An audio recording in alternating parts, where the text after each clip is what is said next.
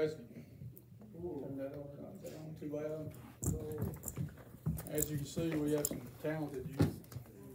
And what we, a lot of times forget is